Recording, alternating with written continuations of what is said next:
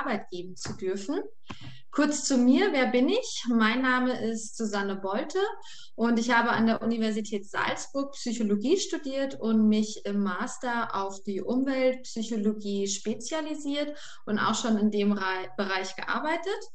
Heute bin ich Doktorandin, das heißt, ich promoviere im Bereich der Umwelt- und Sozialpsychologie mit dem Forschungsschwerpunkt auf die Wahrnehmung des Klimawandels und Klimawandelskeptizismus. Was man darunter genau versteht, werde ich dann äh, im Laufe des Vortrags genauer darauf eingehen. Ich arbeite an der Universität Salzburg im Fachbereich der Psychologie beim Team der Umweltpsychologie unter Isabella Ulhedecke und bin Mitglied bei Blue Green Campus. Das ist die Nachhaltigkeitsinitiative der Universität Salzburg und bin hier zuständig für den Bereich der Bewusstseinsbildung. Ich habe euch jetzt mal meine Kontaktdaten auch mit draufgegeben. Also falls irgendwie es Input von eurer Seite gibt oder Fragen, die heute Abend nicht beantwortet werden können, könnt ihr mich sehr gerne kontaktieren. Als erstes wollte ich mal so eine kurze Definition, einen kurzen Überblick über die Umweltpsychologie geben, was genau überhaupt die Umweltpsychologie ist. Und zwar ist die Umweltpsychologie noch ein relativ junges und neues Feld in der Psychologie. Und die erste Phase der Umweltpsychologie fand so in den 40er, 50er Jahren statt in der sich die Studien vor allem mit dem Einfluss der physischen Umwelt auf den Menschen beschäftigt haben. Das heißt, die Studien zu der Zeit aus der Umweltpsychologie haben geschaut, wie sich die Umwelt auf ein Individuum auswirkt. Also Gegenstand von Studien waren da beispielsweise, wie die Beschaffenheit von einem Arbeitsplatz sich auf die Arbeitsperformance von Arbeitnehmern ähm, auswirken kann. Es hat sich dann ein bisschen verändert weil während den späten 60er Jahren erhielten die Menschen ein immer stärkeres Bewusstsein für Umweltprobleme und so entwickelte sich die Architectural Psychology hin zu einer Green Psychology.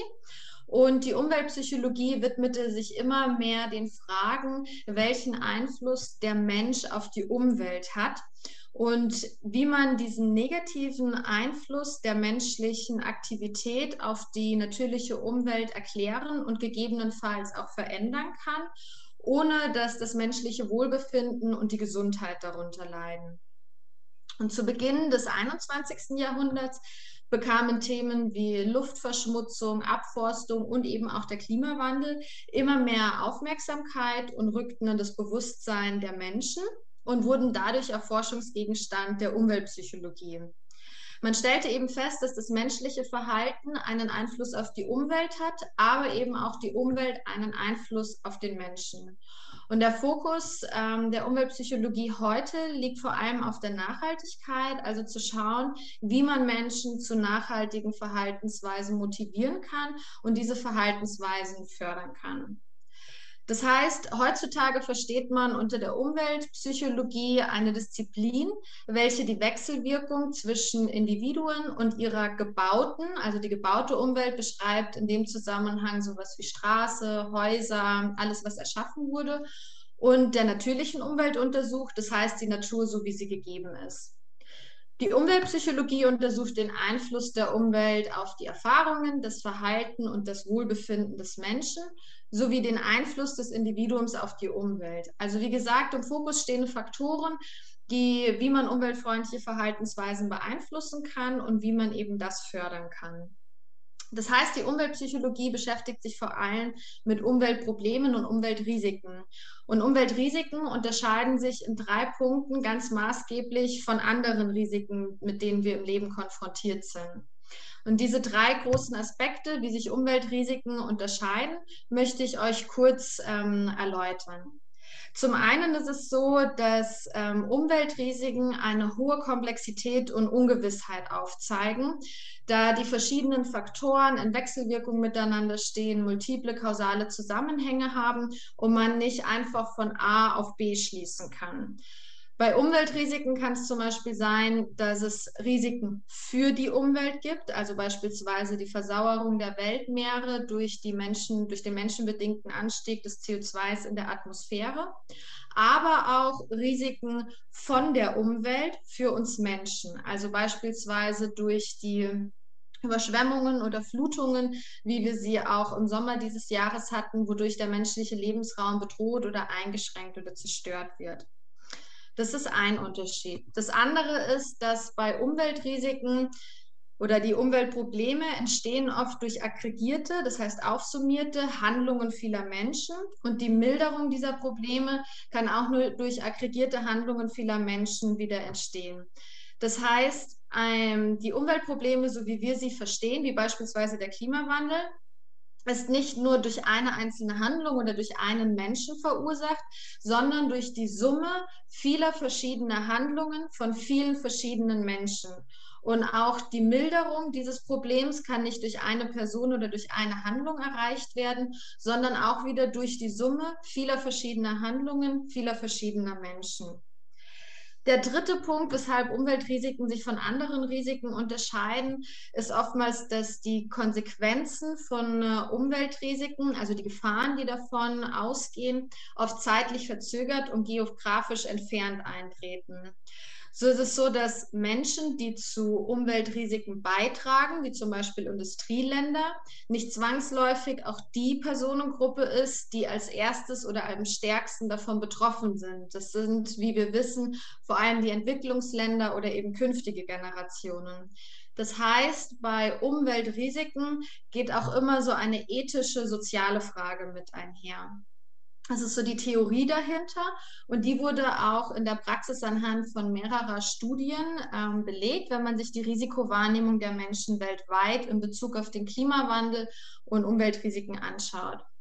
Es wurden beispielsweise Personen in den USA gefragt, also das ist jetzt nur ein kleiner Ausschnitt von dieser Studie wo Personen in den USA befragt wurden, wie sie die Konsequenzen des Klimawandels ähm, einschätzen hinsichtlich, dass die Folgen global eher bemerkbar sind. Das wäre der graue Balken oder lokal, das ist der schwarze Balken.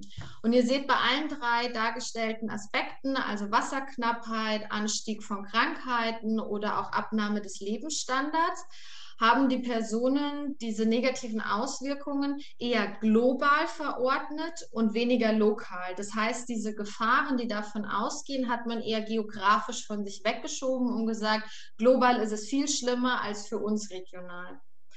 Ein ähnliches Muster ergab sich in Costa Rica. Auch hier sieht man, die Frage war sozusagen Anteil der Personen, die sich Sorgen machen, um. Und hier sind die beiden höchsten Balken bei der Zukunft über Costa Rica und ähm, den Industrieländern. Das heißt, auch hier wird wieder das Risiko vor allem zeitlich entfernt und räumlich entfernt weggeschoben.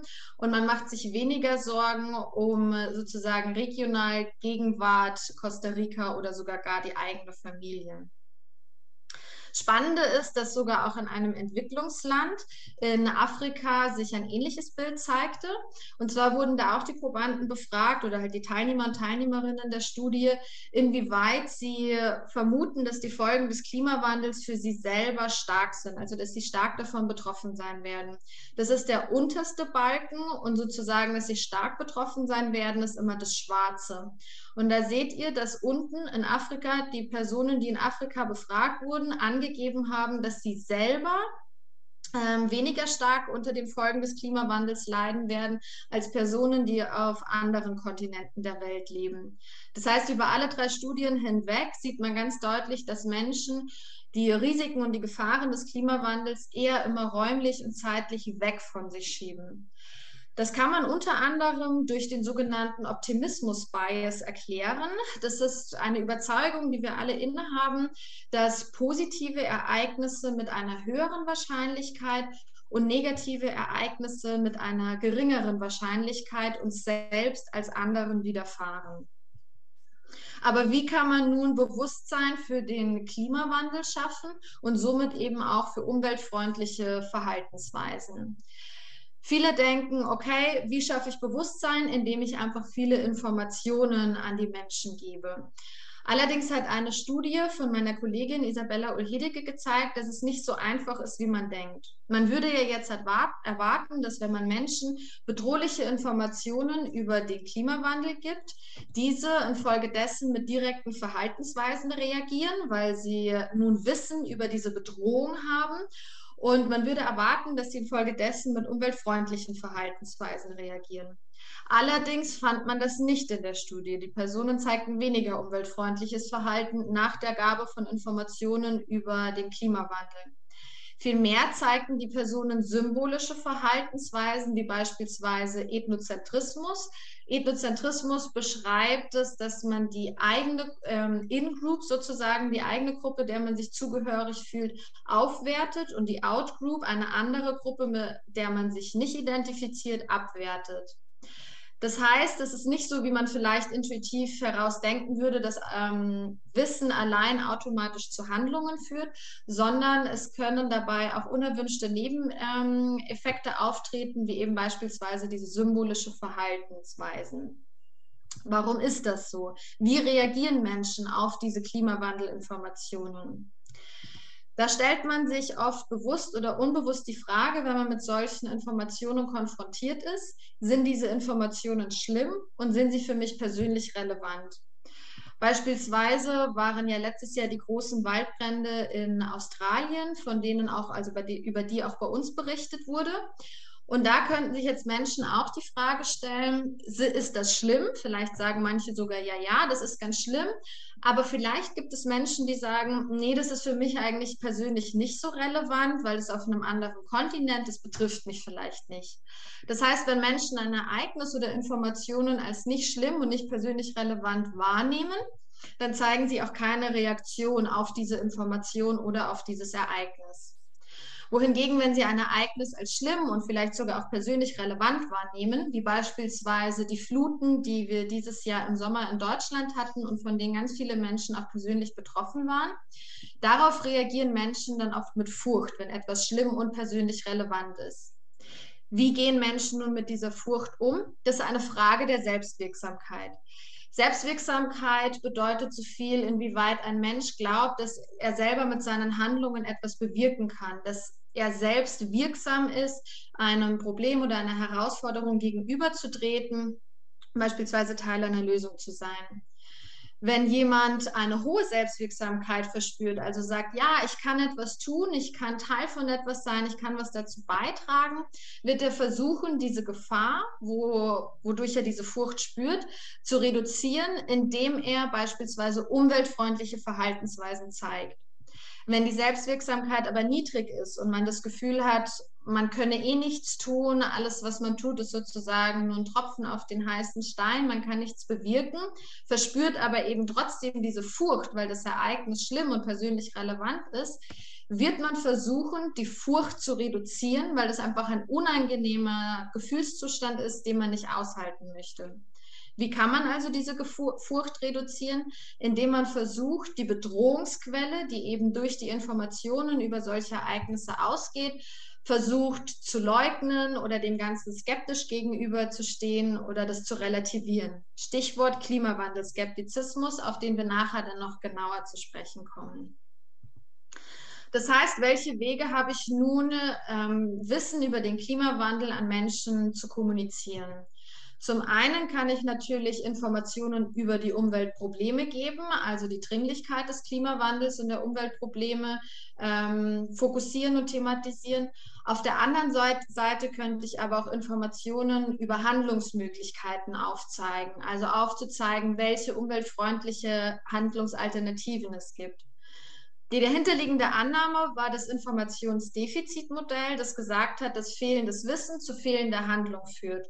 Und um diese Gap zu schließen, muss man den Menschen nur möglichst viel Wissen geben, damit sie eben dann auch handeln.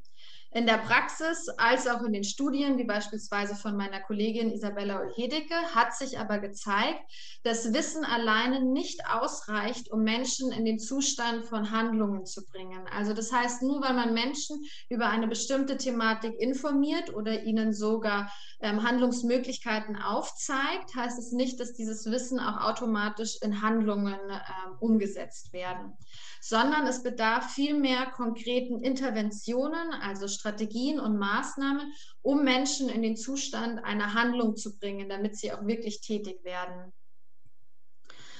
Wie sollte man bei Interventionen nun vorgehen? Wir arbeiten ganz eng mit der Praxis zusammen und erleben da ganz oft, dass ähm, Personen an uns treten und sagen, ja, was müssen wir jetzt eigentlich tun, damit Menschen sich umweltfreundlicher verhalten? Wie ihr schon merkt, ist es eine sehr schwammige und große, komplexe Frage, die man natürlich weder mit einem Satz noch mit einer Intervention beantworten kann. Vielmehr sollte man das versuchen, so konkret wie möglich runterzubrechen, indem man sich überlegt, durch zum Beispiel interdisziplinäre ähm, Recherche, okay, welche Verhaltensweisen, welche umweltfreundlichen Verhaltensweisen haben einen großen Einfluss auf die Umwelt, auf das Klima etc. Und welcher Verhaltensweise möchte ich mich da konkret widmen? Also es macht mehr Sinn, so konkret wie möglich zu werden.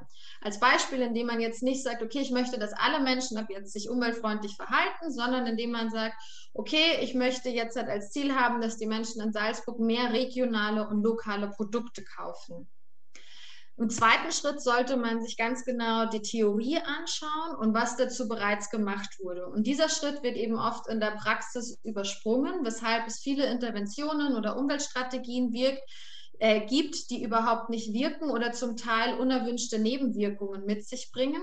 Und es ist aber ganz wichtig, sich anzuschauen, was sagt die Theorie, was kann man daraus ableiten, was wurde vielleicht in der Vergangenheit schon gemacht und hat sich bewährt oder was wurde vielleicht durchgeführt und hat nicht funktioniert und sich dann anzuschauen, warum hat es nicht funktioniert, was sollte man ändern.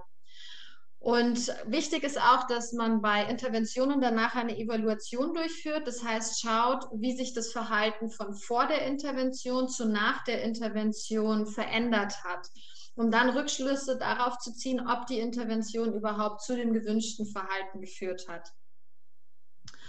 Okay, das heißt, wir haben jetzt halt eine schöne Intervention geplant, haben alle drei Schritte befolgt. Wie geht man nun vor? Ich möchte euch jetzt halt ein paar Beispiele nennen, wie man Interventionen durchführen kann, indem man soziale Normen mit einbezieht. Soziale Normen sind Regeln und Standards, die von Mitgliedern einer Gruppe verstanden werden und die menschliches Verhalten ohne die Kraft von Gesetzen lenken und oder einschränken. Dabei unterscheidet man zum einen zwischen der injunktiven Norm, das sind sozusagen Regeln und Standards, die von äh, den meisten Personen der Gesellschaft gewünscht oder unerwünscht sind, das heißt Verhaltensweisen, die gebilligt oder nicht gebilligt werden von den meisten Menschen. Wie beispielsweise jetzt zu Corona-Zeiten, dass man mindestens 1,5 Meter Abstand hält, die Maske richtig über Nase und Mund trägt und so weiter. Es gibt aber auch die deskriptive Norm die wirkt oft stärker als die injunktive Norm. Und zwar beschreibt die deskriptive Norm das Verhalten, was von den meisten Menschen gezeigt wird. Das heißt, dass die meisten Menschen unabhängig davon, ob es erwünscht oder unerwünscht ist, zeigen. Zum Beispiel, wenn wir irgendwo hinkommen und sich eine Schlange von Menschen bildet, zum Beispiel bei einem Schalter, wird man sich ja hinten bei der Schlange anstellen. Nicht, weil da irgendwo ein Schild steht, auf dem steht, bitte stellen Sie sich hinten in der Schlange an, sondern weil die meisten oder alle Menschen schön hintereinander in der Schlange stehen. Das heißt, die deskriptive Norm zeigt, die meisten Menschen stellen sich in eine Schlange, also stelle auch ich mich hinten an. Das war jetzt eher ein positives Beispiel. Es kann aber auch leider zu negativen Beispielen kommen, wie beim Fahrradfahren einen Helm zu tragen. Wäre ja eigentlich nach der injunktiven Norm eine Verhaltensweise, die wünschenswert wäre. In unserer Gesellschaft sieht man es als wichtig an, einen Fahrradhelm zu tragen beim Radeln. Die deskriptive Norm zeigt allerdings, dass die meisten Menschen heutzutage keinen Helm beim Fahrradfahren tragen. Und dadurch, dass die meisten anderen Menschen es nicht machen, kommt es oft dazu, dass man es selber dann auch nicht macht, weil alle anderen machen es ja auch nicht. So viel zu den sozialen Normen, nur ein kurzer Überblick. Wie kann man die jetzt nun nutzen, um Interventionen durchzuführen? Ähm, man kann versuchen, eine Norm zu aktivieren und dadurch eine Verhaltensänderung zu erreichen. Normen sind meistens kontextspezifisch. Das bedeutet, dass der Glauben, ob eine bestimmte Verhaltensweise von anderen Personen ausgeführt wird oder eben nicht, beziehungsweise gewünscht oder unerwünscht ist, hängt oft vom spezifischen Setting ab. So denken äh, manche Menschen beispielsweise, dass die meisten Personen daheim ihr Handtuch mehrmals benutzen, wohingegen es im Hotel völlig normal sei, sein Handtuch nach einmaliger Nutzung auf den Boden zu legen, damit es direkt wieder ausgetauscht und verändert wird äh, und gewaschen wird. Wenn man die Handtuchnutzung nun aber versucht, salient zu machen und so die gewünschte Norm aktiviert, kann das einen Einfluss auf das Verhalten der Menschen machen. In einer Studie von Schulz und Kollegen hat man ähm, eben diese Schilder, die man außen an die Hoteltür hängen kann, um eben zu sagen, das Zimmer soll gereinigt werden oder eben nicht. Dieses Schild mit dem Normsatz versehen, dass 75 Prozent der Hotelgäste, also der Großteil, die meisten Hotelgäste, ihre Handtücher mehrmals verwenden. Und es zeigte sich, dass infolgedessen, wenn eben dieses Schild mit dem Normsatz versehen war, die deutlich mehr Personen ihre Handtücher mehrmals benutzten, als wenn dieses Schild diesen Normsatz nicht hatte. Das heißt einfach nur das Betonen der gewünschten Norm, dass man eben das Handtuch mehrmals benutzt und eben durch die Betonung der deskriptiven Norm, die anderen machen das doch auch, kann es zu einer Aktivierung dieser Norm kommen und eben zu einer Verhaltensänderung, eben dass viele andere Menschen auch ihre Handtücher infolgedessen mehrmals nutzten im Hotel. Es kann auch zu einer ähm, ja, Übertragung von verschiedenen Normen kommen, dass es eben durch eine Norm eine andere Norm mit aktiviert wird. Und zwar wurde da an den Niederlanden eine Studie durchgeführt, wo man Zettel, also so Werbeflyer, an den Lenkern von Fahrrädern angebracht hat. Und man hat dann äh, untersucht oder geschaut, wie viele von diesen Zetteln von den ähm, Leuten einfach achtlos auf den Boden geworfen wurden, also einfach weggeschmissen, oder wie viele Zettel in den Mülleimer richtig entsorgt wurden oder eingesteckt wurden. Und auf dem rechten Bild seht ihr, dass es sozusagen schon zu einer Normüberschreitung kam, da man im Hintergrund auf dem Schild sieht, dass eigentlich Graffiti-Sprühen verboten war oder verboten ist, aber man sieht, dass die Wand trotzdem verschmiert war. Das heißt, hier sieht man, es kam schon zu einer Normüberschreitung und hier schmissen 69 Prozent der Fahrradbesitzer und Besitzerinnen diesen Flyer, diesen Werbezettel einfach auf den Boden. Das heißt, sie litterten, verschmutzten die Umwelt wohingegen auf dem linken Bild seht ihr die Bedingung, wo die Norm eingehalten wurde. Und zwar ist da auch das Schild des Graffiti-Verbots und im Hintergrund sieht man aber, dass bei der Wand es zu keinen Verschmutzungen kam.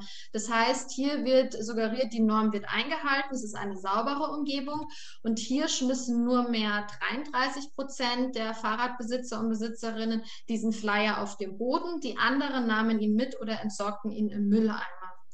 Das heißt, ihr seht ähm, auch eine Norm, die nicht im direkten Zusammenhang steht. Also das, diese Graffitis hatten jetzt nicht direkt was mit den Zetteln zu tun, kann trotzdem einen Einfluss darauf haben, ob man sich an eine Norm hält oder nicht. Und diese Übertragungen der Norm auf eine andere ist etwas, was oft unterbewusst stattfindet. Also wenn man die Personen gefragt hat, warum sie den Zettel weggeschmissen haben, haben die Personen in der rechten Bedingung nicht gesagt, ja, sie haben es auf den Boden geworfen, weil da Graffitis ähm, an der Wand waren. Aber es hat sich eben über verschiedene Studien hinweg gezeigt, dass eben in einer dreckigen oder eben nicht sauberen Umgebung deutlich mehr Müll weggeschmissen wird, einfach in die Umwelt, ähm, wohingegen in einer sauberen Umgebung das nicht so oft stattfindet stattfindet. Man muss allerdings aufpassen, wie man soziale Normen kommuniziert und was man betont. Denn oft wird eine bestimmte unerwünschte Verhaltensweise genannt, um Bewusstsein für die daraus resultierende Problematik zu schaffen, was wiederum leider zu unerwünschten und eben genau den Effekten führt, die man eigentlich vermeiden wollen würde. Und zwar ähm, einem Beispiel erklärt, gab es einmal in einem Nationalpark, ähm, der bekannt war für sein versteinertes Holz, die Problematik, dass ganz viele Menschen dieses versteinerte Holz mit nach Hause genommen haben. Und ähm, das hat irgendwann so überhand genommen, dass es massive Auswirkungen auf die Umwelt hatte. Deswegen hat man überlegt, okay, wie kommunizieren wir das jetzt? Was für Schilder stellen wir auf, damit möglichst wenig Menschen künftig ähm, versteinertes Holz mit nach Hause nehmen? Dann hat man erstmal geschaut, wenn kein Schild dasteht, was ist sozusagen die Baseline, wie viele Personen nehmen versteinertes Holz mit? Dann hat man ein Schild aufgestellt mit der Bitte, nehmen Sie kein versteinertes Holz aus dem ähm, Park mit. Und dann hat man ein Schild aufgestellt mit dem Normsatz. In der Vergangenheit haben viele Personen versteinertes Holz aus dem Park mitgenommen. Dies war ein massiver Eingriff in den Wald. Und aus dem Bauch heraus würde man ja jetzt halt erwarten, dass bei dem letzten Schild am wenigsten Personen versteinertes Holz mitgenommen haben, weil hier ja sogar explizit draufsteht, das war ein massiver Eingriff in den Wald. Das heißt, hier findet Wissensvermittlung statt. Es wird gesagt, das ist nicht okay, das ist ein Eingriff in die Natur, macht es nicht. Tatsächlich hat sich allerdings gezeigt, wenn kein Schild da stand, haben drei Prozent der Besucher versteinertes Holz mitgenommen. Durch die Bitte, es nicht zu tun, sank die Rate auf 2%, wohingegen bei dem letzten Schild es auf 8% angestiegen ist. Das heißt, es ist mehr als das Doppelte gestiegen an den Personen, die versteinertes Holz mitgenommen haben. Woran liegt es? Es ist zwar hier dieser Wissenssatz dabei, dass es ein massiver Eingriff in den Wald war, aber viel wichtiger ist, dass davor die deskriptive Norm salient gemacht wird. Und zwar, dass viele Personen in der Vergangenheit versteinertes Holz mitgenommen haben. Das heißt, es wird vermittelt, dass diese deskriptive Norm, viele Menschen haben das in der Vergangenheit gemacht, wodurch man selber den Eindruck erhält, naja, dann kann ich es ja auch machen. Es ist zwar unerwünscht und nicht gut für die Umwelt, aber alle anderen machen es ja auch. Das heißt, wenn man ähm, bei Interventionen mit sozialen Normen arbeitet, muss man immer darauf ähm, aufpassen, wie man sie kommuniziert und was genau man salient macht, ob eben die erwünschte oder unerwünschte Verhaltensweise. Bei Interventionen kann man eben mit sozialen Normen arbeiten, wie ich sie euch gerade vorgestellt habe, aber eben auch mit Werten. Es gibt vier große Wertegruppen, die in der Umweltpsychologie von besonderer Relevanz sind. Das sind zum einen hedonistische Werte.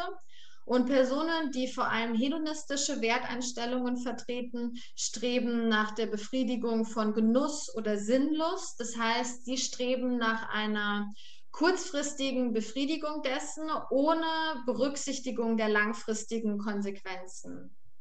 Dann gibt es noch die egoistischen Werte und Menschen, die vor allem egoistische Werte vertreten, fokussieren vor allem die Kosten und Nutzen einer Handlung, die für sie persönlich relevant sind. Kosten und Nutzen meinen in diesem Zusammenhang sowohl materielle als auch immaterielle Konsequenzen einer Handlung oder einer Entscheidung. Und Personen, die besonders egoistische Werte vertreten, werden nur dann umweltfreundliche Verhaltensweisen zeigen, wenn der für sie persönliche Nutzen den Individu die individuellen Kosten übersteigt.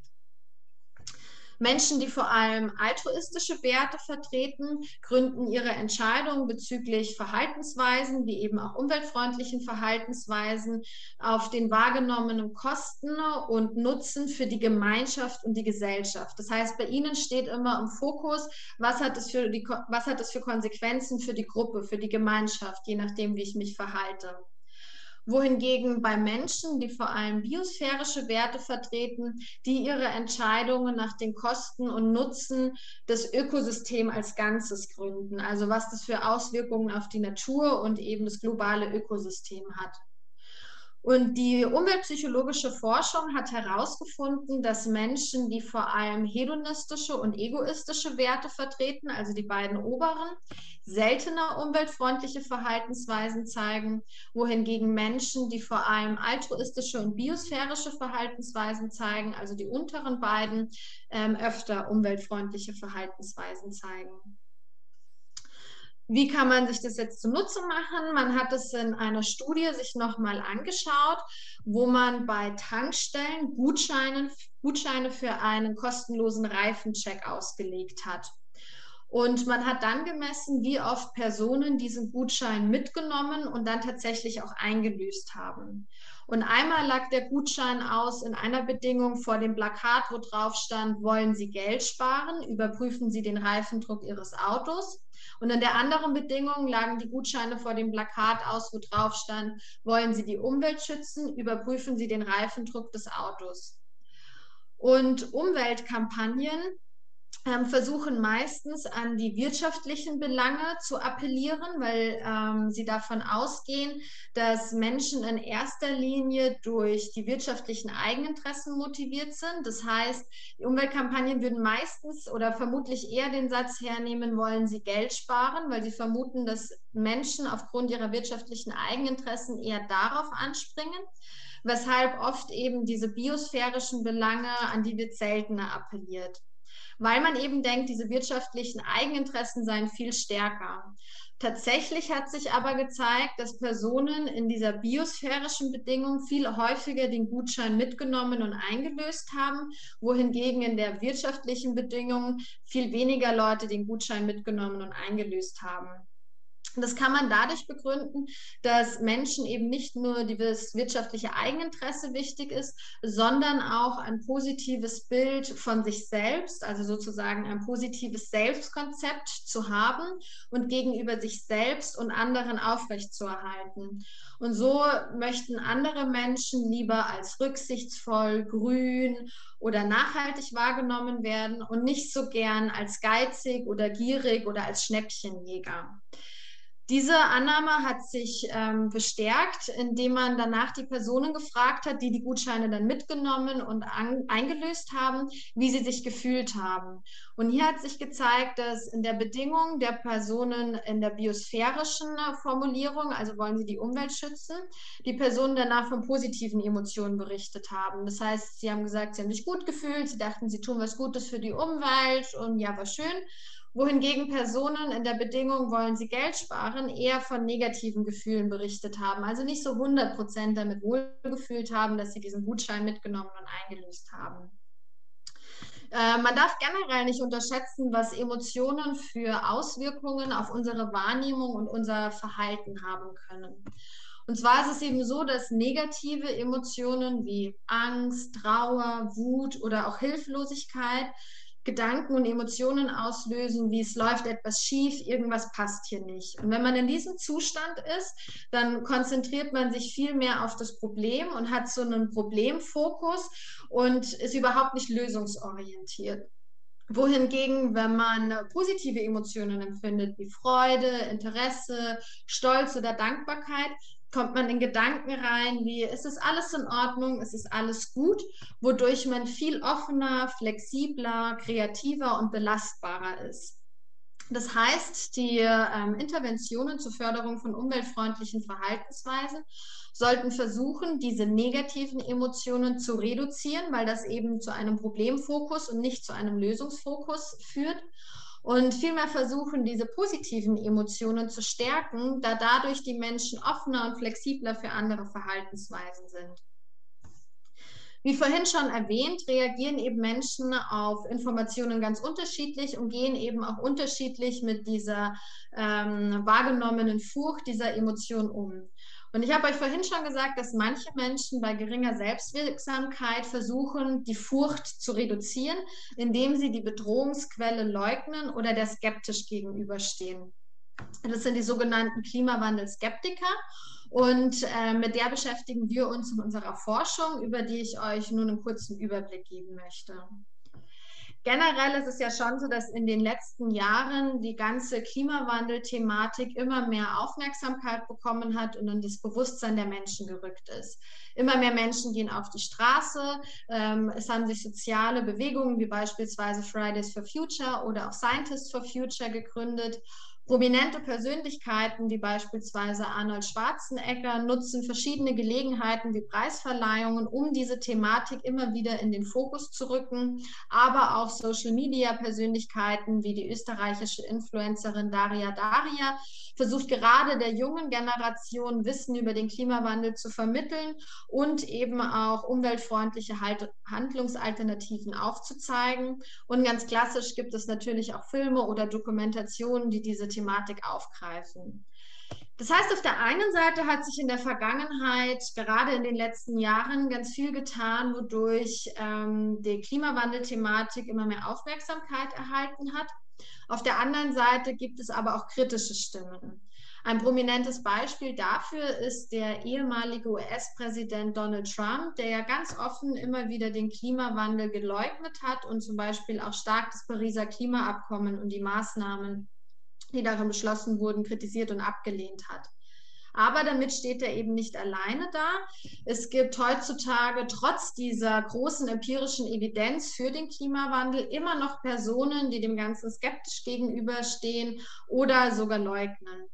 Auffällig ist, dass diese Klimawandelskeptiker auf dem politischen Spektrum vor allem Mitte rechts anzuordnen sind. Also mir ist hier ganz wichtig zu betonen, wenn ich von einer politischen Mitte-Rechts-Orientierung spreche, rede ich nicht nur von dem radikal rechten Ende. Also es ist nicht so, dass die Klimawandelskeptiker nur am rechten radikalen Ende zu finden sind, sondern wenn man sich die politische Spektrum anschaut, eben auf diesem rechten Flügel. Alle alles, was von der Mitte ausgeht, sozusagen das konservative rechte Ende. Hier findet man vor allem die Klimawandelskeptiker, aber eben nicht nur in diesem radikalen Ende. Aber jetzt gehen wir erstmal einen Schritt zurück. Was genau ist überhaupt Klimawandelskeptizismus?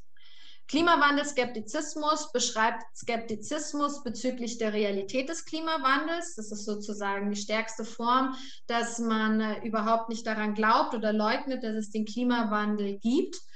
Oder Skeptizismus bezüglich dem menschenbedingten Ursprung des Klimawandels, dass man zwar sagt, so ja, okay, Klimawandel gibt schon, aber wir Menschen sind dafür nicht verantwortlich oder Skeptizismus bezüglich der Folgen des Klimawandels auf die Gesellschaft. Also, dass man skeptisch ist, ob der Klimawandel sich tatsächlich ähm, auf unser Leben und unsere Gesellschaft auswirkt.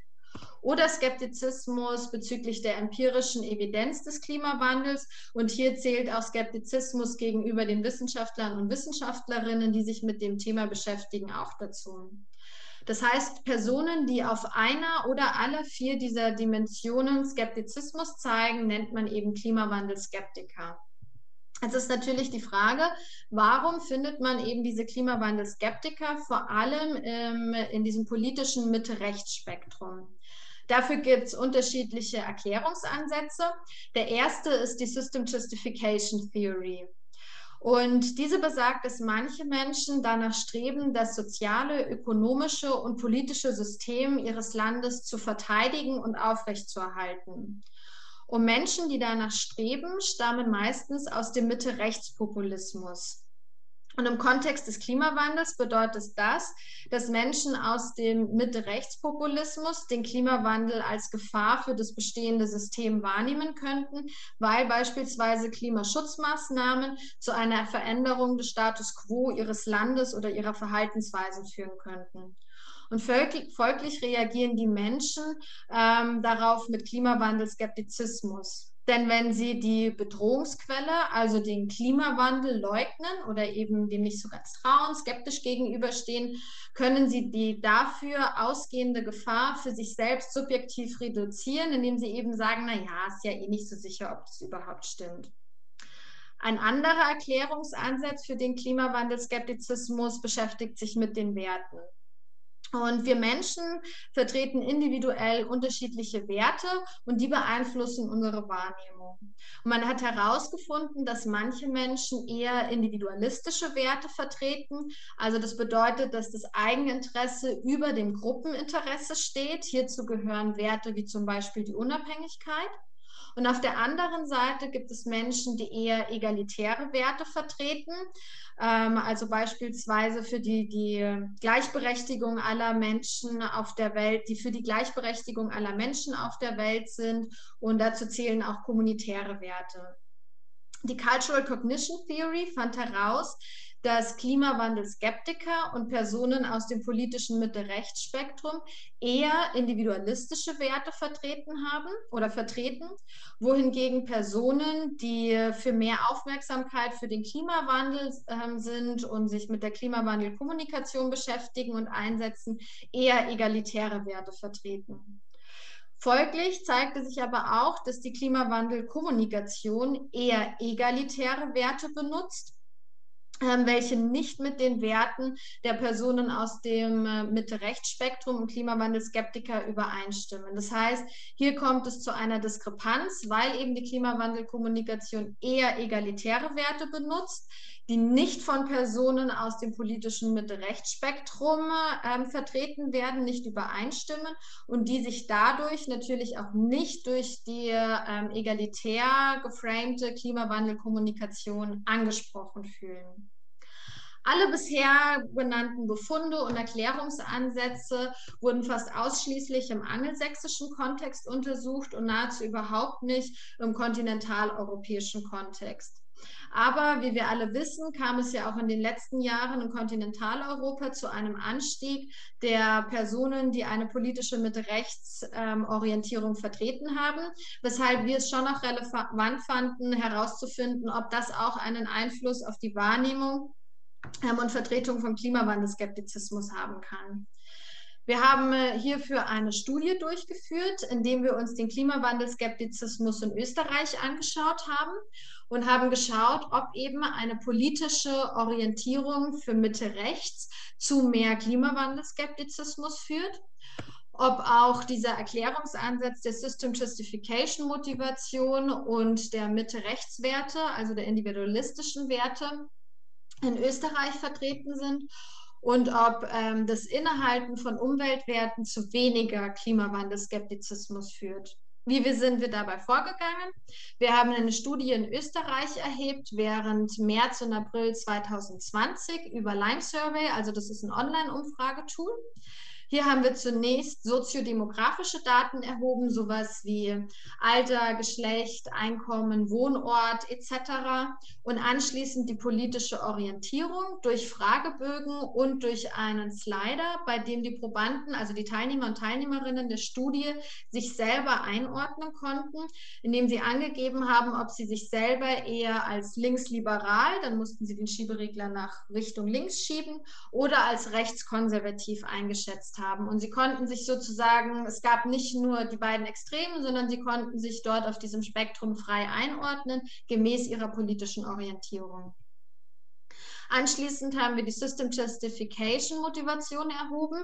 Das heißt, inwieweit man daran nachstrebt, das soziale und ökonomische Status quo des Landes aufrechtzuerhalten mit einem entsprechenden Fragebogen. Hier mussten die Probanden auf einer siebenstufigen Skala angeben, inwieweit sie gewissen Aussagen zustimmen oder eben nicht zustimmen. Also sowas wie jeder hat eine faire Chance auf Wohlstand und Glück und unsere Gesellschaft wird jeden Tag schlechter etc. Anschließend haben wir die Werte durch drei verschiedene Fragebögen erhoben. Auch hier haben die Personen wieder auf einer siebenstufigen Skala angegeben, wie sehr sie oder wie wichtig für sie bestimmte Werte in ihrem Leben sind oder ob diese Werte gegebenenfalls entgegen ihrer eigenen Prinzipien stehen. Abschließend haben wir noch den Klimawandelskeptizismus mit auch dafür passenden Fragebögen erhoben. Auch hier haben die Personen wieder angegeben, inwieweit sie bestimmten Aussagen zustimmen oder eben nicht. Die Aussagen waren beispielsweise, der Klimawandel findet gerade statt oder der Klimawandel ist durch den Menschen verursacht. Das ist jetzt nur eine ganz grobe Zusammenfassung unserer Studie, einen kurzen Überblick. Was haben wir herausgefunden? Wir haben auch in Österreich den Zusammenhang gefunden, dass eine politische Mitte-Rechts-Orientierung zu mehr Klimawandelskeptizismus führt. Also auch in Österreich zeigte sich, dass wenn Personen eine politische Mitte-Rechts-Orientierung vertreten, eher skeptisch gegenüber dem Klimawandel sind was wir nicht gefunden haben für Österreich, war den Erklärungsansatz der System Justification Motivation, der ja eigentlich besagt hat, je höher die Motivation ist, den Status quo eines Landes aufrechtzuerhalten, desto eher zeigt man auch Klimawandelskeptizismus. Diesen Zusammenhang haben wir in Österreich nicht gefunden. Interessant fand ich, dass dieser Zusammenhang in einer Studie, die dieses Jahr in Deutschland durchgeführt wurde, dieser Zusammenhang auch nicht gefunden wurde, was weshalb hier fraglich ist, ob die System Justification Motivation eventuell nur ein angelsächsischer Erklärungsansatz ist, der nur für diese Länder gilt, oder ob die Fragebögen, die eben auch für den angelsächsischen Raum ähm, kreiert wurden, vielleicht im kontinentaleuropäischen Kontext nicht passen. Aber das ist was, wo es noch künftige Forschung benötigt. Was wir allerdings bestätigen konnten, waren, dass Menschen, die Mitte-Rechts-Werte vertreten haben, also eben diese individualistischen Werte, auch mehr Klimawandelskeptizismus zeigten und dass Personen, die mehr Umweltwerte vertreten haben, also diese biosphärischen Werte, weniger Klimawandelskeptizismus gezeigt haben. Es war jetzt halt alles sehr komplex und sehr viel theoretischer Hintergrund. Was ist mir wichtig, was ihr mit nach Hause nehmt? Seid vorsichtig bei der bei bedrohlichen Klima andersrum, individuelle Klima.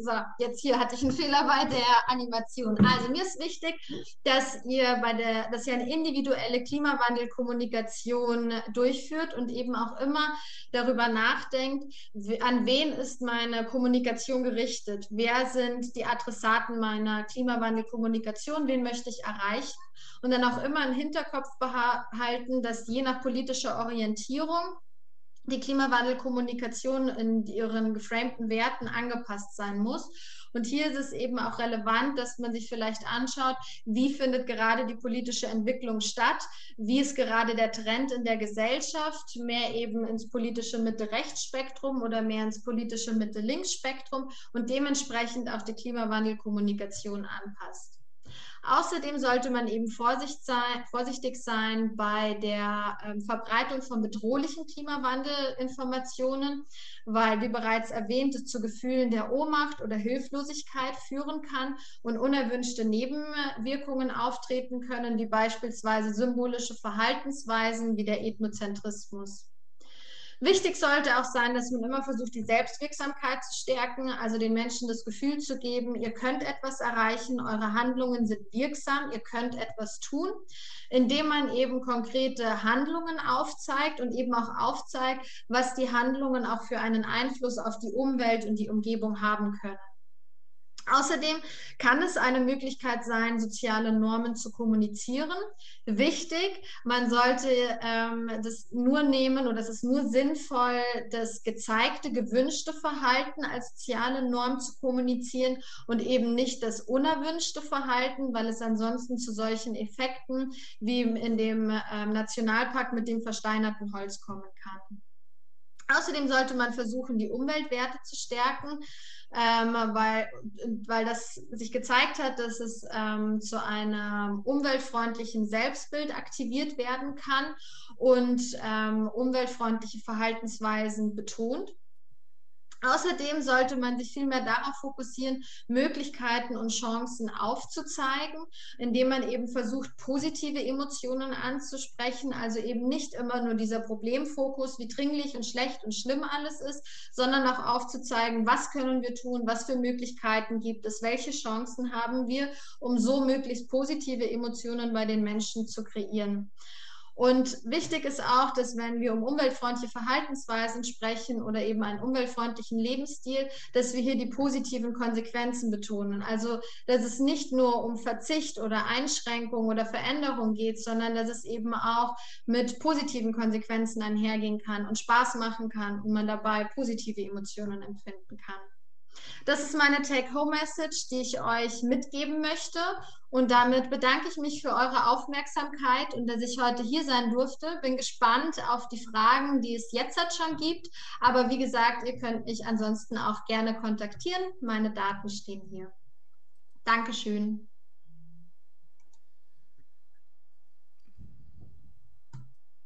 So, jetzt müsste ich eigentlich wieder auch hörbar sein. Ja, ich höre dich. Genau, ich weiß bloß nicht, ob man das irgendwie jetzt doppelt. Ich muss mal vielleicht noch was umstellen hier.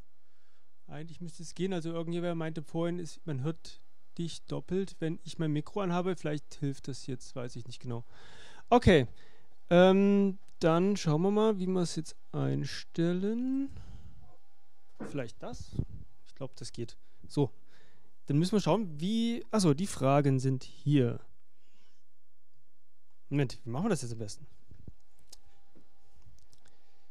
Gibt es öffentliche Fragen? Es gibt öffentliche Fragen, oder? Nicht? Es gibt eine Frage zu, bezüglich der Studien, aber die kommen wir nachher auch. Also wie, wo wurden die veröffentlicht? Aber das wäre dann eh eine konkrete Frage, das müssen wir dann äh, vielleicht konkret machen. Dann, ähm, ah, der Helvin fragt. Moment, dann müssen wir schauen, die Kamera noch ein bisschen ausrichten. Aber wir, genau, dann würde ich sagen, wir beenden den Livestream. Vielen Dank für den Vortrag. Und wir sind dann wieder in der internen Diskussionsrunde und freuen uns, wenn noch Leute dazukommen. Vielen Dank.